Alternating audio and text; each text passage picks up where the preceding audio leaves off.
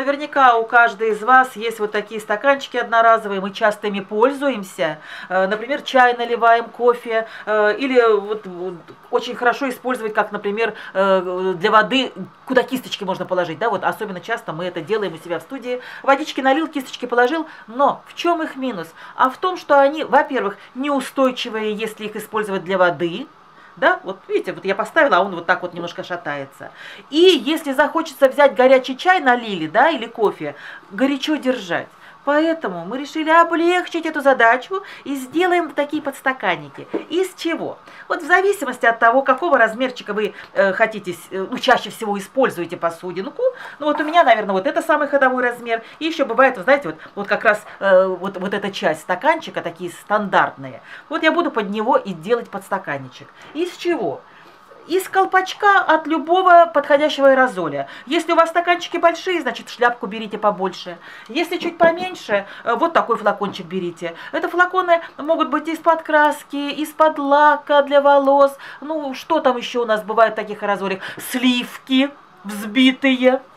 Вот, я перебрала все свои флакончики и оказалось, что вот этот размер наиболее подходящий для стакана вот такого размера. Если у вас потолще стакан, значит возьмите э, шляпку, крышечку побольше размером. Размерчик-то подходит идеально, но все равно еще легковата конструкция, то есть есть еще некая неустойчивость. То есть горяченько я взять уже могу, но тоже, учитывая, что это пластик и э, довольно тонкий, он может быстро нагреться, мне хочется все-таки сделать какой-то дизайн. Во-первых, утяжелить конструкцию, чтобы плотнее стояла, и, в общем-то, для того, чтобы у меня пальчики не обжигались об горячее. Я взяла довольно симпатичный молд, видите, такой цветочек, то ли тюльпанчик, то ли э, какой-то подснежник, неважно, главное, что красиво. И взяла самозатвердевающую массу, у меня DAS. Вы можете пользоваться той массой, которой привыкли пользоваться, то есть тут не важно. Возможно, вы делаете ее самостоятельно, э, своими руками, поэтому пользуйтесь тем, к чему привыкли. Теперь, хорошо размяв массу, мы ее вправляем в молд. Теперь мы можем достать не, до, не дожидаясь высыхания массы, мы можем достать из молда наш элемент. И будем его приклеивать. Приклеивать я буду на клей ПВА, потому что влажный Э, ну, влажная масса, она на другой клей пока не приклеится. Либо на ПВА, либо на шпатлевку. Посмотрите, какой красивый получился элемент. И, в общем-то, его использовать можно э, в очень красивых таких ракурсах.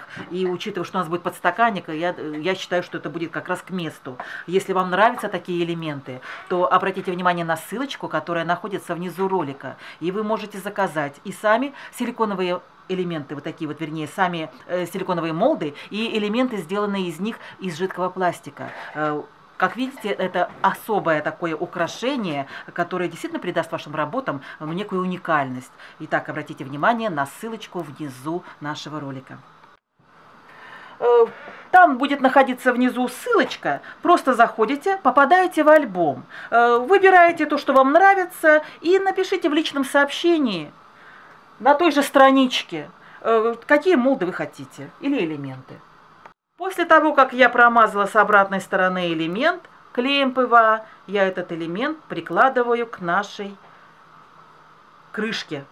Вот таким образом прижимаем, подправляем, чтобы все это было у меня ровненько, прямо. То, что у меня элемент заходит за края крышки, это даже хорошо. Будет такая фактурная поверхность.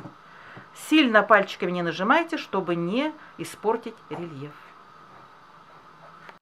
Вот так я по крышечке проклеила все элементы. И, конечно же, надо хорошо высушить. Оставляем для полной просушки у меня элементы приклеились, и теперь я могу приступать к окрашиванию. Но сначала маленький секретик.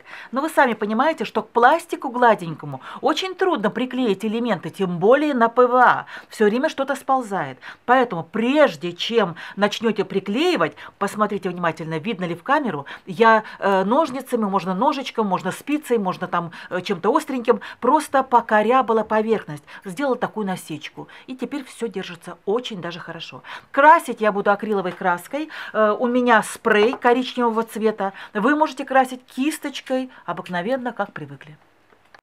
Теперь, когда краска высохла, э, мы покрасим сверху вот таким цветом. Очень симпатичный цвет, такой как бы припыленный, цвет плесени я его называю. Полностью покрываем со всех сторон. Не забывайте внутреннюю часть вот этих элементов, которые у нас приподнимаются над стаканчиком. И вот теперь э, не дайте краске высохнуть полностью, ну пусть чуть-чуть там, допустим, постоит минут 5, да, и пока она еще совсем не стала сухой, возьмите влажную салфеточку, намотайте на пальчик и убирайте излишки краски вот такими движениями самых выдающихся частей рельефа. Итак, пройдитесь по всему стаканчику. Вот такой простенький и очень симпатичный подстаканчик мы с вами сделали.